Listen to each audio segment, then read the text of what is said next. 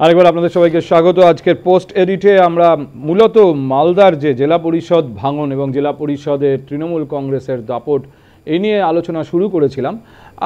অবশ্যই বিষয়টি এমন যে এই দলবদলের রাজনীতি আলোচনা এবং সমালোচনার পর্যায়ে যাবে। তৃণমূল কংগ্রেসের বিরুদ্ধে বিরোধী রাজনৈতিক দলগুলো বারবার এই প্রশ্ন তুলছেন, বারবার এই সমালোচনা করছেন যে বিরোধীদের রক্তশূন্য করার এই রাজনীতি তৃণমূল কংগ্রেসের আজকেও যখন মালদার ঘটনা ঘটে গেছে মালদার বিষয়টি পাবলিক হয়ে গেছে তখন অধীর চৌধুরী এ প্রসঙ্গে ওই একই অভিযোগ করেছেন যে জেলা সভাধিপতিকে কোটি টাকার প্রলোভন দেখানো হয়েছে। শুনুন। সরলা মুর্মু তাকে প্রায় কোটি টাকার উপরে অফার করে চাকরি দেবো বলে নানাভাবে ভয় দেখিয়ে যাক গেছে তো যখন গেছে। বাংলায় ত্রিস্তর পঞ্চায়েতকে এইভাবে পদদলিত করার নাম কিন্তু গণতন্ত্র হতে পারে না। মা মাটি মানুষের সরকারকে কিন্তু ত্রিস্তর সরকার বলে মূলত। আজকে মামাটি মানুষের নেত্রী সেই ত্রিস্তর ব্যবস্থাকেই ভেঙে গুঁড়ো করে দিচ্ছেন। গায়ের জোরে টাকার জোরে ভয় দেখিয়ে প্রশাসন দেখিয়ে সেই সমস্ত বিরোধী দলের নেতৃত্বে পরিচালিত প্রতিষ্ঠানগুলোকে ভেঙে দেওয়ার মধ্য দিয়ে এই বাংলার গণতন্ত্রের ভিত আলগা হচ্ছে দুর্বল হচ্ছে এটুকু বলতে পারি। সাধারণ কংগ্রেস কর্মীদের মধ্যে একটু তার প্রভাব পড়ে কর্মীরা একটু হতাশ হয় কর্মীদের একটু দুঃখ লাগে। কিন্তু একটা জিনিস যে নির্বাচিত জনপ্রতিনিধি যাওয়া মানে এটা নয় যে কর্মীরা চলে যাওয়া ভোটাররা চলে যাওয়া। এবার আমি রাহুল আপনার কাছে একটা বিষয় জানতে চাই, যে কনকবাবু আজকে প্রদেশ সভাপতির সমালোচনা করছেন করছেন। কিন্তু কংগ্রেস এরকম নেতাও খুঁজলে পাওয়া যাবে যারা প্রদেশ সভাপতির পক্ষে কথা বলবেন এবং প্রদেশ সভাপতি যে অভিযোগ করছেন, সেই অভিযোগ করবেন। যে তৃণমূল কংগ্রেস নেত্রী, বাংলার ত্রিস্তর যে ব্যবস্থা রয়েছে, পঞ্চায়েত ব্যবস্থা রয়েছে, সেই ব্যবস্থার ভিতটাকে নড়িয়ে দেওয়ার চেষ্টা করছেন। আমি পার্থনা কথা বলছি। এখানে কতগুলো কথা একটু নিশ্চিন্ত হয়ে বলা দরকার। প্রথম কথা, যদি আমরা একটু আগে যাই, এই আজকের এই ঘটনাগুলি কেন হচ্ছে? সিপিএম এর শক্তি নেই, ওরা আস্তে আস্তে ক্ষয় শক্তি কমছে, ক্ষয় বৃদ্ধি হচ্ছে, তো জানি আমরা। কংগ্রেসের একই অবস্থা? কে কংগ্রেসের এই দিশাহীন কথাবার্তার কোনো মানে নেই? কারণ পায়ের তলায় মাঠে নিয়ে যা বলছে মানুষ জানেন। জনগণ থেকে বিচ্ছিন্ন হয়ে গেছে জানা তারা কথা বলতেই পারেন। কোনো কথা তাকে নিজে স্পষ্ট বলেন উনি কি বলছেন তাদের আশায় জানা মানুষের। যেটা বড় কথা, সেটাই বাহাত্তর সাতাত্তরের পরবর্তীকালে যতদিন পর্যন্ত তৃণমূল কংগ্রেসের জন্ম না হয়েছে, ততদিন পর্যন্ত কংগ্রেস বলে একটা বিরোধী দল ছিল পার্থ কিন্তু দুর্ভাগ্যবশত বাংলার মানুষ বা বাংলার কোনো নেতা, নেত্রী যারা বিরোধী দল করতো, তারা কিন্তু বামপন্থীকে হাঁটানোর মতো এই দুঃসাহস স্বপ্নেও দেখেননি। এমন কোনো কাউকে পাননি যার হাত ধরে বাংলায় বাম মুক্ত বাংলা সম্ভব, এটা ভাবেন উনি। সুতরাং তখনও কংগ্রেসের নেতা নেত্রী প্রচুর ছিলেন, মমতা বন্দ্যোপাধ্যায় কংগ্রেস ছিলেন। উনিশশো আটানব্বই আগে পর্যন্ত কোনো মানুষ যে স্বপ্ন দেখেননি মমতা বন্দ্যোপাধ্যায় পরবর্তীকালে বাংলার মানুষকে সে স্বপ্ন দেখিয়েছেন এটা যেমন সত্যি তার প্রভাব থেকে কিন্তু কেউ মুক্ত নয় আজকে বাংলায় কি করে বাম মুক্ত হয়েছে যতই কংগ্রেস থাক বা কেউ থাক বা সহযোগী এতগুলো দল থাক তার প্রধান ও প্রথম কাণ্ডারি মমতা বন্দ্যোপাধ্যায় সেটার সঙ্গে। এই বিতর্ক কেন আমি করছে না, বুঝতে পারছি না। কেন- ওই কেন?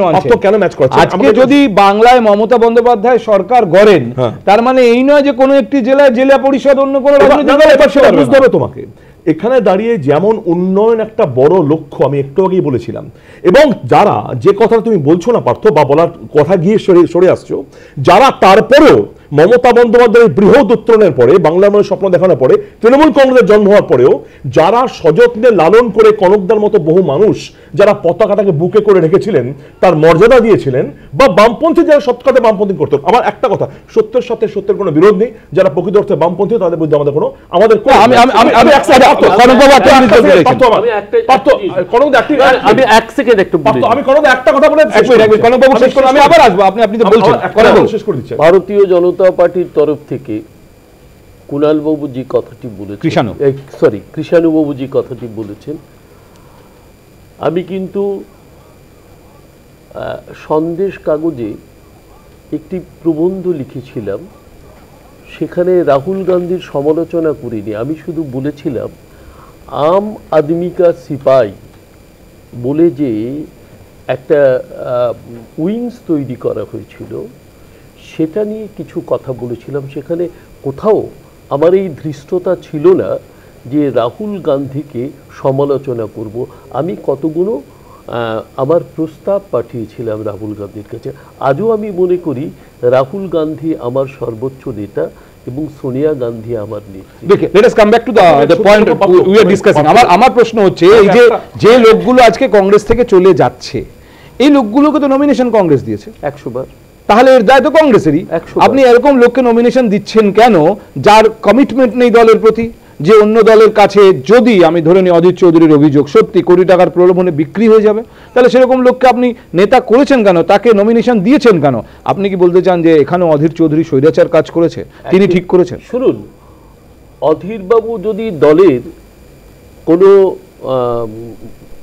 ধরুন দলের উত্তরণ হলো তাহলে আমরা সবাই অধীরবাবুর জয়গান গাইব। দল যেখানে আজকে অবক্ষয়ের পথে চলছে, তখন আমি দেখব যে অধীরবাবু কি কি পদক্ষেপ নিচ্ছেন। আমি আজ পর্যন্ত অধীরবাবু সভাপতি হবার পর থেকে তিনি যে কথা বলেছেন, যে দল যারা চলে যেতে চায় চলে যাক এই দিয়ে জাতীয় কংগ্রেস চলে না। জাতীয় কংগ্রেস চালাতে গেলে বন্ড দিয়ে কোনো এমএলএকে রাখা যায় না। হৃদয় দিয়ে রাখতে হয় এবং তার পাশে থাকতে হয়। মানে কনকবাবু আজকে আপনি কোনো জেলা পরিষদের সদস্য হলে আপনি তৃণমূলে যেতেন। আপনার কথা শুনে আমার তাই মনে না কি করে মনে না এই অভিমানটা তো অধীর চৌধুরীর। উপরে কিন্তু অধীর চৌধুরীকে তো কংগ্রেসের হাইকমান্ড এখনও সভাপতি পদে বসে রেখেছে। চৌধুরী তো কংগ্রেস নয়। আমি মনে করি কংগ্রেস যারা লক্ষ লক্ষ লক্ষ লক্ষ কংগ্রেস কর্মীরা যারা গ্রামে গঞ্জে রয়েছে তারাই কংগ্রেস? সরলা মুর্মু কি কংগ্রেস ছিলেন? হ্যাঁ। যিনি আজকে মালদার জেলা সভাধিপতি আজকে তৃণমূল কংগ্রেসের পতাকা নিয়ে বললেন আমি তৃণমূলে। যিনি মমতা বন্দ্যোপাধ্যায়কে অ্যাপিল করছেন লিখিতভাবে যে আমাকে তৃণমূলের সদস্যপত্র দেওয়া হোক। সেখানটায় অধীর চৌধুরীর পদক্ষেপটা কি? অধীর চৌধুরী সে ব্যাপারে কতখানি আগ্রহ প্রকাশ করেছেন যে আমার দল আমি ভাঙতে দেব না? আমি দেখলাম অধীর চৌধুরীকে ভাঙার জন্যে, অর্থাৎ তার দলকে ভাঙার জন্যে শুভেন্দুবাবু মালদা পর্যন্ত গিয়ে যে পদক্ষেপ নিলেন, আমি রবি চ্যাটার্জির কাটোয়াতে আমি কোনোদিন অধীর চৌধুরীকে গিয়ে বলতে শুনিনি যে রবি চ্যাটার্জি আপনি দল ছেড়ে যাবেন না।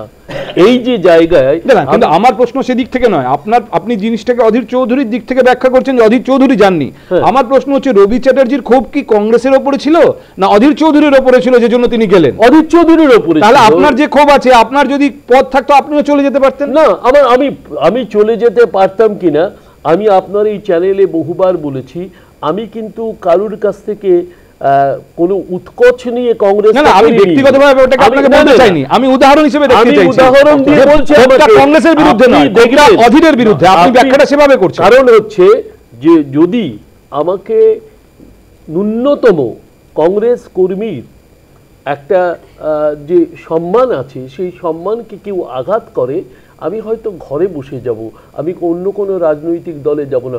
সবাই আমার মতো সবাই আমার মতো এরকম মাটিতে মিশে থেকে কংগ্রেস করেন বলে আমি মনে করি না। আমি মনে করি আজীবন আমি কংগ্রেস করব এবং আমার মৃত্যুর পরে আমার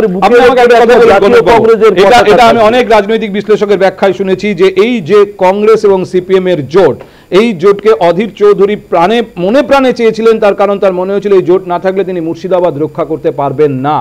আপনার কি মনে হয় অধীর চৌধুরী মুর্শিদাবাদের দখল রাখতে পারবেন এই পরিবেশে এই পরিস্থিতিতে? না দেখুন সেটা এই মুহূর্তে বলা যাচ্ছে না তার কারণ অধীর চৌধুরী মুর্শিদাবাদে কেন্দ্রিক রাজনীতি করেন তিনি ওই জায়গায় বোঝেন আপনার কি মনে হয় যে কংগ্রেস তৃণমূল জোট যেটা হয়েছিল বা এই কংগ্রেস সিপিএম এর জোট যেটা হয়েছিল সেই জোটটা আসলে অধীর চৌধুরী এবং তার মতো কিছু মুষ্টিমেয় নেতার স্বার্থে হয়েছিল না আদৌ কংগ্রেসের স্বার্থে না? না না না এটা কারুর স্বার্থে নয় পশ্চিমবঙ্গের মানুষের স্বার্থে তখন মনে হয়েছিল যে গণতন্ত্রকে রক্ষা করার জন্যে একমাত্র মার্ক্সবাদী কমিউনিস্ট পার্টি বা বামফ্রন্ট একা তাদের পক্ষে সম্ভব নয় একা কংগ্রেসের পক্ষে সম্ভব নয় তাই প্রয়োজনের তাগিদে। তখন সেখানে সেখানে যেটা আপনি সেক্ষেত্রে বলছেন যে অধীর চৌধুরী যা করেছিলেন ঠিকই করেছিলেন। অধীর চৌধুরী সাধারণ মানুষের স্বার্থে এই সাধারণ মানুষ করেছিলেন। অধীর চৌধুরী করেননি।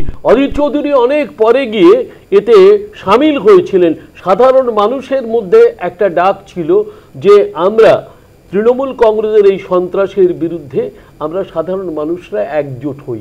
সেই জন্য একজোট হয়েছিলেন। সেখানে কোনো ব্যক্তিকে দেখে আজকে আজকে এই জোটের কোনো প্রাসঙ্গিকতা আছে? শুনুন এক এক জায়গায় এক এক রকম পরিস্থিতি আছে। আমি তো মনে করি এখনও গণতন্ত্রকে রক্ষা করতে গেলে এর প্রাসঙ্গিকতা রয়েছে এবং এই প্রাসঙ্গিকতাকে বজায় রাখতে হবে। আমি একটু না পার্থ। সেটা হচ্ছে কনকদা রাজনৈতিক দায়বদ্ধতা আছে বলতে পারছেন না, না, না, সেটা হচ্ছে আমি- আমি দায়বদ্ধতা নিয়ে রাজনীতি করি। কথা হচ্ছে যে আজকে যারা সযত্নে লালিত সেই স্বপ্ন বা আদর্শকে বুকে করে রেখেছিল যেসব কংগ্রেস করে বা সিপিএম কর্মীরা তারা যখন দেখল একে অপরের কাছে সেই পতাকা বিক্রি হয়ে গেল তারপরে তুমি বলতে চাও পারতো যে তারা দল ত্যাগ করবে না তারা এগিয়ে আসবে না। তাদের কাছে একমাত্র ভায়াবল অল্টারনেট ছিল মমতা বন্দ্যোপাধ্যায়। বাংলার উন্নয়নের জন্য বাংলার জন্য এবং আদর্শ রক্ষা কিন্তু অধীর বাবু এই বাবুর ব্যাখ্যা হচ্ছে বেশিরভাগ মানুষ যারা দল ছেড়ে যাচ্ছেন অধীর চৌধুরীর ওপর ক্ষোভে কংগ্রেসের ওপর ক্ষোভ থেকে নয়। এই তো একদম একদম সোজা কথা কংগ্রেস দলটাই তো অস্তিত্ব নেই আর। কংগ্রেস দলটার আদর্শকে বিক্রি করে দিয়ে। শুনুন রাহুল বাবু যারা লড়াই করেছেন যারা বামপন্থী লড়াই করেছেন আপনি আপনার- সিপিএম এর বিরুদ্ধে লড়াই আপনি আপনার সোচ্চার মনে করতে সাথে কনক দা। এই কনক দা বুকে বলতে পারবেন যে তাহলে কংগ্রেস ভাঙিয়ে নিচ্ছেন কেন? না আপনারা থাকতে পারছেন না তো। আরে আপনি- তো ভেঙে আসছেন। হাত তো ধরুন আপনি তো ভেঙে আসছেন। না না। এই এই জায়গাটাই ভুল প্রশ্ন। কংগ্রেস দলটাকে এক সময় না না আপনি- যদি কংগ্রেস। এই। বিতর্ক কোন রকম সলিউশনে পৌঁছানো যাবে না। এই বিতর্ক এন্ডলেস আমার ধারণা দেবাশিস বাবুর কাছে আসব। দেবাশিস বাবু আমার প্রশ্ন হচ্ছে যে আজকে রাজনীতি বিরোধী রাজনীতিকে শক্তিশালী করার জন্য বা আমি যদি নির্বাচনের আগের পরিস্থিতি ধরি তখন তো কেউ জানতেন না কে ক্ষমতায় আসবেন, কে বেশি মানুষের সমর্থন পাবেন? সেক্ষেত্রে একটা অল্টারনেটিভ তৃণমূল কংগ্রেসের বিরুদ্ধে শক্তিশালী পলিটিক্যাল অল্টারনেটিভ তৈরির জন্য একটা জোট হয়েছিল। আজকে সেই দেখা যাচ্ছে সেই জোটটা অনেক ক্ষেত্রেই অনেক বিশ্লেষক মনে করছেন যে জরুরি যদি বিরোধী রাজনীতিকে শক্তিশালী রাখতে হয়। তারপরেও তো এই ধরনের ক্ষয়গুলো হচ্ছে এবং খুব উল্লেখযোগ্য হচ্ছে যে এটা শুধু কংগ্রেস থেকে যে ক্ষয় হচ্ছে তা নয়। এই ক্ষয়টা কিন্তু বামেদের দলগুলো থেকেও হচ্ছে। জলপাইগুড়ির ছবি আজকেই আমরা দেখলাম। তা এই এইটা নানাভাবে তাত্ত্বিকভাবে বিশ্লেষণ হয়তো করা যায়। নানাভাবে তার সমালোচনা হয়তো করা যায়। কিন্তু আটকানোর কি কোনো রাস্তা বিরোধীরা আজ অবধি খুঁজে বার করতে পারলেন না? প্রশ্নের উত্তর দেবো তার তোমাকে একটা প্রশ্ন করব। আজকে জলপাইগুড়ি মালদা মুর্শিদাবাদ এই তিনটে জেলাতে বামেদের তরফ থেকে এবং কংগ্রেসের তরফ থেকে তোমাকে কাউন্ট দেবে না জানলে পিসের থেকে জেনে কাউন্ট দাও। যে কজন তৃণমূল কংগ্রেসে জয়েন করেছে? কাউন্ট দাও। মানে দশ কর্মী। এক মিনিট কর্মী টর্মী না আরে যারা পতাকা দাঁড়াও। যারা পতাকা নেড়েছে দল থেকে দলে গেছে এবং তার জন্য আহ্লাদিত হয়ে গর্বিত হয়ে তৃণমূল কংগ্রেসের গুরুত্বপূর্ণ সাংসদরা তারা উইন ওভার করছে সিচুয়েশন ব্যাখ্যা করছে। কাউন্ট দাও। মানে সংখ্যা। সংখ্যা বলো। বাম কংগ্রেসের পনেরো জন সদস্য হ্যাঁ। আজকে মালদায়। বলো। আর জলপাইগুড়িতে ছজন। একুশ জন। কি আলোচনা করছ? যে একুশটা আসন এই একুশটা আসনে কত লক্ষ মানুষ বিজেপি তৃণমূল কংগ্রেস বাম এবং কংগ্রেসকে ভোট দিয়েছে? তুমি যে ক্ষয় টয় শব্দগুলো ব্যবহার করে ফেলছো কয়েক হাজার লোক ছিল এবার ঘটনাটা হচ্ছে যে একুশটা মানুষ- লোক এসছে আজকে। একুশটা মানুষ ভয়ে ভক্তিতে অর্থে নানান কারণে। নাচতে না জানলে উঠোন দেখা এই সমস্ত কারণে পতাকা ছেড়েছে পতাকা ধরেছে। নিশ্চয়ই কঠিন ভাবে অপব্যাখ্যা, অপব্যাখ্যা কিন্তু এই যে দলের সমর্থন ক্ষয় হচ্ছে কিনা জোরটা কীভাবে বুঝেছে এই সব গোল গোল কথা বলছো অসার কথা বলছো তো। তার কারণ হচ্ছে যে মানুষ কীভাবে বুঝেছে তাকে?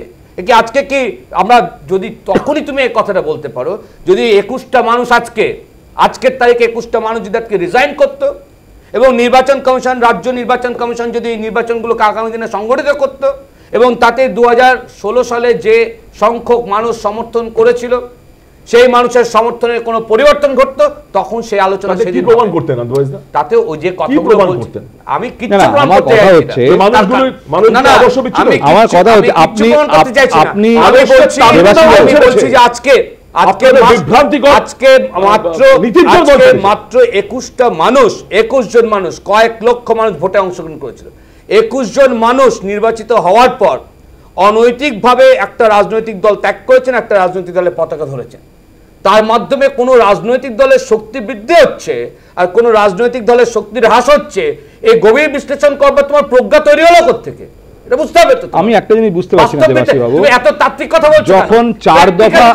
চার দফা কথা বলো। চার দফা নির্বাচন হয়ে যাওয়ার পর বলছো যে সূর্যকান্ত মিশ্র ঘোষণা করলেন আমরা দুশো আসনের দিকে না না দুশো আসন পরবর্তীতে দেখা গেল যে বামেরা খুব তুমি- খারাপ রেজাল্ট দাঁড়া দাঁড়া তুমি তো ধাক্কা খেতে খেতে এখন নির্বাচনে চলে গেছো। না না আমার প্রশ্ন হচ্ছে আজকে যখন আপনারা এখান থেকে তোমাকে একুশ জন গেছে ওখান থেকে জন গেছে ওখান থেকে না, না, তিনজন তুমি গেছে বলে নিজেদের শক্তি অটুট আছে বলে হিসেব করছেন। তুমি তুমি আজকের আলোচনার থেকে যে রাজনৈতিক শক্তি মাপার চেষ্টা করছ না রাজনীতিতে দুর্নীতি মাপার চেষ্টা করছ এটাকে আগে পরিষ্কার করে আলোচনা করো।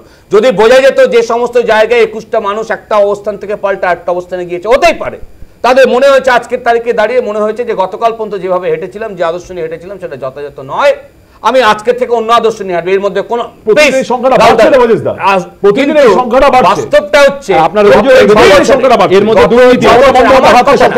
আমার কথা। নয় গত ছ বছরে গত ছ বছরে দু এগারো পরবর্তী পর্যায়ে দু হাজার এগারোর বিশে মে পরবর্তী পর্যায়ে এই সময়কালে আমাদের রাজ্যে যে পতাকা নাড়ার রাজনৈতিক অশুভ সংস্কৃতি তৈরি হচ্ছে এর মাধ্যমে আমাদের রাজ্যে যারা যে সমস্ত মানুষজন এই সমস্ত মানুষজনদের ভোট দিয়েছিলেন জিতেছিলেন যদি বোঝা যেত যদি বুঝতে চাও থেকে যে রাজনীতির সমর্থনের জায়গার পরিবর্তন ঘটছে কিনা তাহলে এই সমস্ত পদে তাদেরকে রিজাইন করা উচিত এবং করে নতুন নির্বাচনের মাধ্যমে তুমি ঠিক আছে আপনি তো বারবার ঘুরে একই জায়গায় না, জায়গা। আমার আরেকটা আরেকটা প্রশ্ন আপনি যখন বললেন দুর্নীতির কথা আমি ওটা আপনি বলতাম বলছেন এর মধ্যে দুর্নীতি এটা- আছে। আমি এটা বলতাম না। আমি এ কথা বলতামই না। তুমি যেহেতু বারবার করে একটা ভুল কথা বলছো তাই আমি এটা বলছি। তোমার ভুল কথাটা কি? আমার কথাটা যদি ভুল হয়, না না তোমার তো রাজ্যের বিরোধী রাজনৈতিক দলগুলোর জন্য ভালো। তুমি একুশটা- নিঃসন্দেহে ভালো যে তাদের শক্তি অটুট আছে। না না একুশটা মানুষ তার রাজনৈতিক অবস্থান পাল্টেছে। এটা একটা বাস্তব এটাকে মেনে আলোচনা হচ্ছে। কিন্তু একুশটা মানুষ তার রাজনৈতিক অবস্থান পাল্টেছে জন্য তোমাকে এই অধিকার এবং বিশ্লেষণ করবার ক্ষমতা কে দিয়েছে যে একুশটা মানুষের পেছনে যে সমর্থন এবং বিরোধিতা ছিল সেটা পরিবর্তন হয়ে গেল তার সাথে? তা তো নতুন নির্বাচন করতে হয়। রাহুল আমাকে নতুন নির্বাচন একটা প্রশ্ন উত্তর দিন আমার- আমার- যেটা- বলুন তো, আপনার যেটা বলা হচ্ছে- আপনারা কোনোদিন।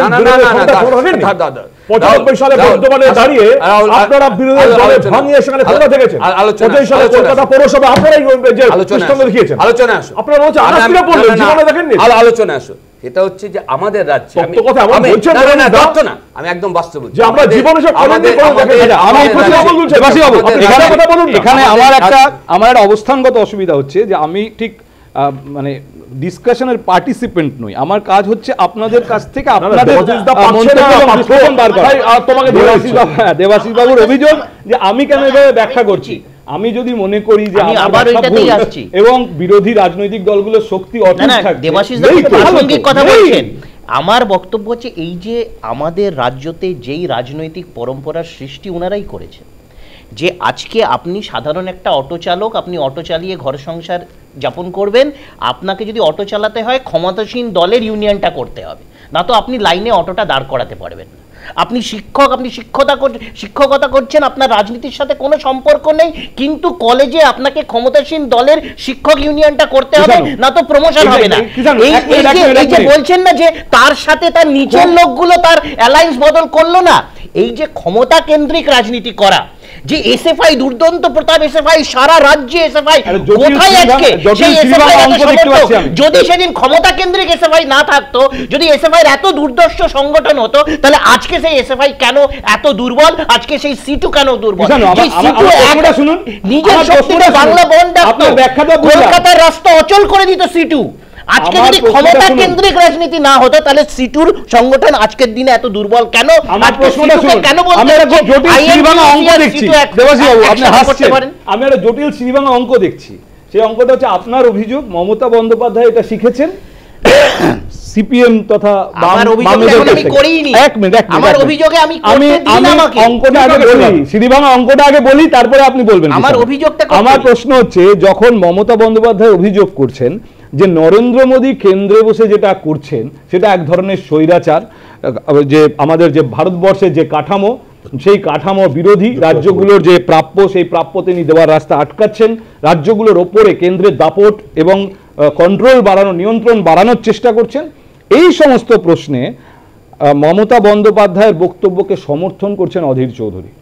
সমর্থন করছেন সূর্যকান্ত মিশ্র। যে মমতা বন্দ্যোপাধ্যায় যে অভিযোগ বিজেপির কেন্দ্রীয় সরকারের বিরুদ্ধে করছে নরেন্দ্র মোদীর বিরুদ্ধে করছে একদম ঠিক। আমাকে বলছি- কিন্তু এক মিনিট এক মিনিট সিঁড়ি ভাঙা অঙ্ক এটা। এটা সিঁড়ি সিঁড়িগুলো আপনাকে দেখতে হবে।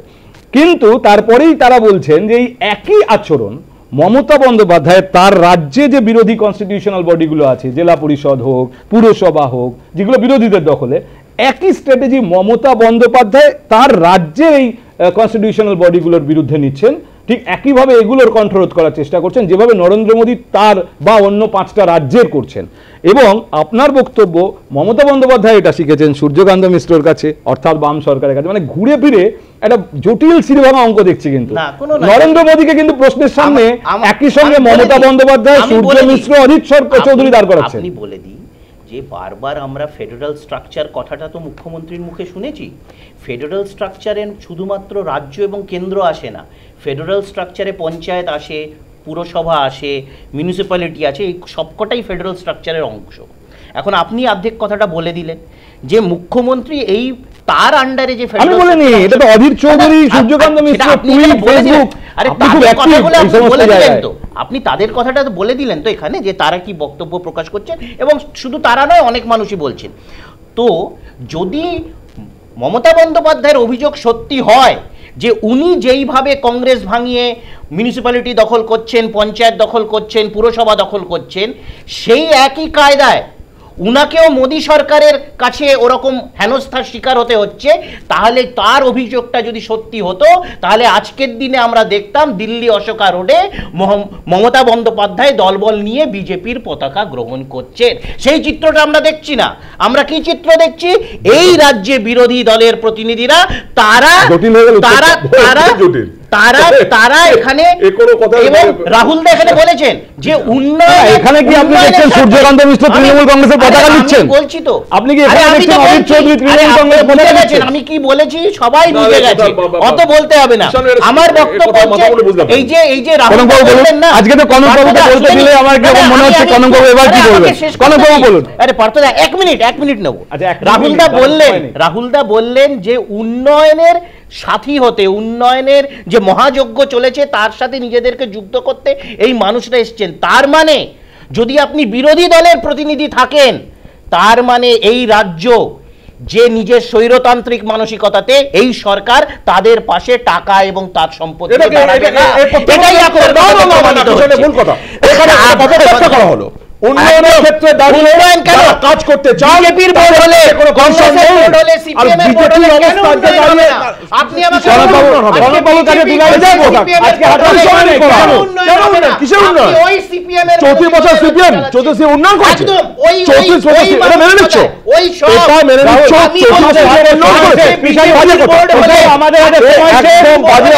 আমি? লাস্ট দু লাইন এই প্রসঙ্গে আপনার কাছে শুনতে চাই এক মিনিট আমাকে একটুখানি সহযোগিতা করুন আমি লাস্ট আপনার কাছে শুনতে চাই যে নরেন্দ্র মোদীর বিরুদ্ধে যে অভিযোগ মমতা বন্দ্যোপাধ্যায় করছেন সেই অভিযোগে দেখা যাচ্ছে অধীর চৌধুরী বলছেন হ্যাঁ উনি ঠিক বলছেন। সূর্যকান্ত মিশ্র বলছেন যে এখানে তৃণমূলের ওপরে দুমুখ নীতির প্রভাব পড়ছে যখন তারা এই কেন্দ্রের সরকারের সঙ্গে ছিলেন তখন তারা এই ফেডারেল স্ট্রাকচারের কথা মাথায় রাখেননি।